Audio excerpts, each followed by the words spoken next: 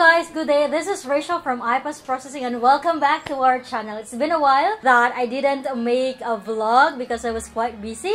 So this time, I'm going to discuss to you another topic which is about when are you going to see your license as having a multi-state status or a compact status of your license because one of our pastors who previously passed the NCLEX through Texas Board of Nursing was wondering why as she was checking on her Nursys account that's nursys.com that's the website where you are going to check your license if it was already issued coming from the board and then as she was checking it she has seen that her license is at a single state. Meaning to say, although that it was through Texas Board of Nursing and Texas Board of Nursing is one of those included as a compact state. So she was expecting that her license should also be in a multi-state status or in a compact state status. So, for your multi-state status or your compact status, your license can be used in another compact states, meaning to say you don't need to have the license endorsement. But there's also one concern about that. Say, for example, because we have one client who is, I think, currently living in Minnesota. And then she was telling us that her family is going to move to Texas. Therefore, her primary residence later on will be Texas and it will no longer be Minnesota. Therefore, she has to, I'm not sure if that's Minnesota though, but it's one of the compact license. I'm not sure if that's Minnesota uh, or it was Mississippi. But her license on that particular state was a compact license. But during the transferring or the endorsement of your license, because there is one thing that you have to do is to declare where is the primary state of residence. So if ever that you are moving from one state, which is although a compact state, but you are moving to a different state and that will be your primary state, then that means to say you still need to do the license endorsement. You get it? Even though your license is a multi-state license, as long as you are going to transfer in another state wherein you will be staying there permanently. Therefore, that state will become your primary state of residence already. Therefore, you need to have the declaration of your primary state of residence, which is that particular state. Therefore, even though your license was previously a compact or currently a compact license, you still need to do the license endorsement because this another state will already become your primary state of residence. But in another instance that your license is already a multi-state license or a compact license, and then you are just going to practice as a nurse in another state which is also a compact state, but you are not going to stay there permanently, you will not transfer your residence, your primary state of residence, then that's the time that you don't need to do the license endorsement. Because in the USA, you can practice as a nurse telephonically, electronically, and not just physically. That's why you can see in the application in Texas Board of Nursing that it will ask you where do you plan to practice as a nurse physically, telephonically, and electronically. So, for that client of ours who previously passed the NCLEX and she was checking the Nursys that it was still a single state, it's also because that particular client is still currently outside of Texas. Because even though Texas or a particular state is a compact state, but if your residence is still outside of USA, particularly on that state, therefore, the status of your license will not become a multi-state license yet. It will not become a compact license yet because you are not yet there.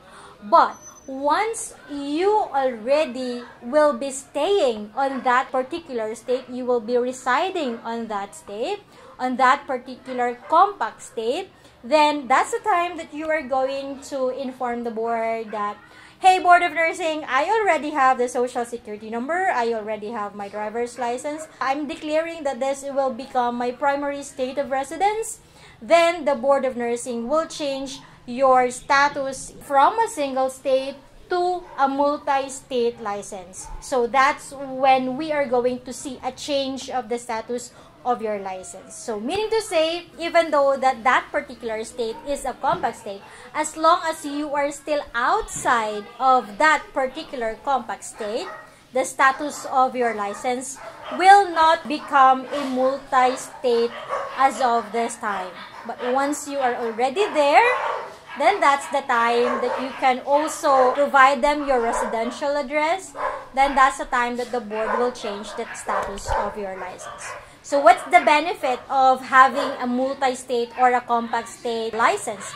As what I have told you, you don't need to endorse your license if ever that you already have your multi-state license.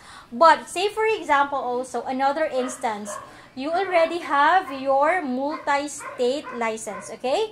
And then you are going to transfer and you will be residing and you will be practicing as a nurse in another state wherein that's not a compact state.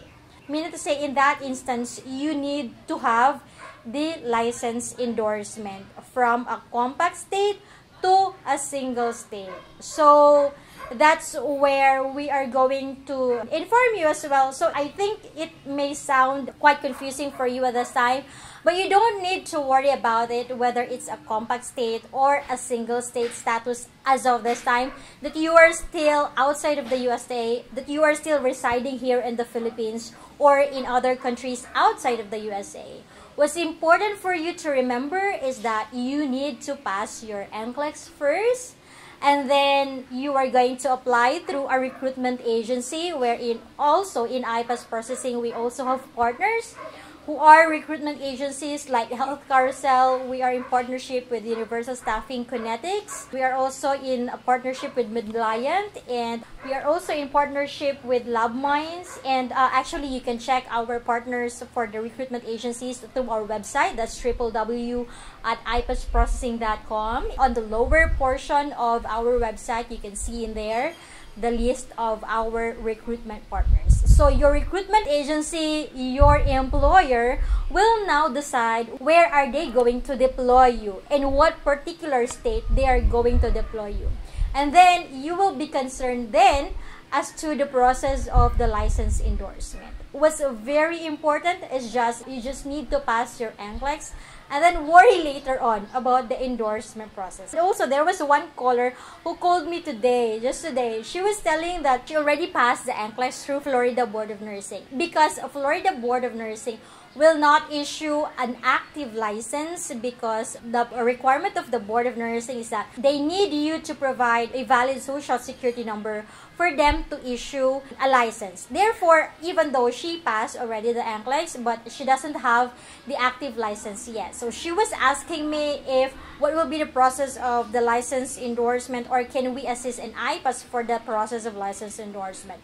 So I asked her if she already have a recruitment agency or her employer has already decided where she will be deployed because it will be costly for you if you are just going to do or we are just going to assist you for license endorsement without even knowing where is really your final destination.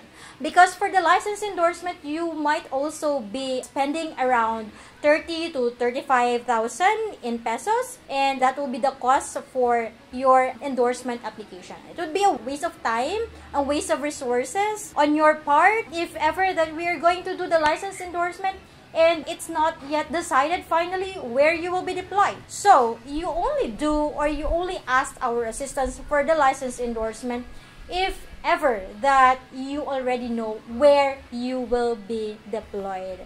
So that's it for today guys. If ever that you need assistance for your NCLEX application, for your license endorsement, for your VisaScreen, for your Middle East exam applications for Dubai, Abu Dhabi, Saudi, Qatar, Oman, even Bahrain, we have DataFlow assistance as well. For your VisaScreen, for your license endorsement or your, for your license renewal, even we also have discounted UWorld subscription. And the newest service that we have is the iPass NCLEX online review program wherein we have the three month duration of our NCLEX online review program and it's a one year unlimited as well. So, if ever that you also want to check our other services, you might want to check the description down below so that you will see what are the services that we are offering to our clients. And we are not only catering Filipinos as well, but we are also providing assistance for other nationalities. Actually, currently, we also have a lot of other nationalities who are with us for this processing on their NCLEX examination. And we are very thankful and we are very grateful that they are also trusting us even they are not Filipinos. So for you who are Filipinos, thank you. Thank you very much from the bottom of our heart because you entrusted your application to us and you continue to trust iPass processing for your exam application and for other services that we are providing to you as well. Thank you very much. Until the next video, God bless everyone. Stay safe and bye-bye.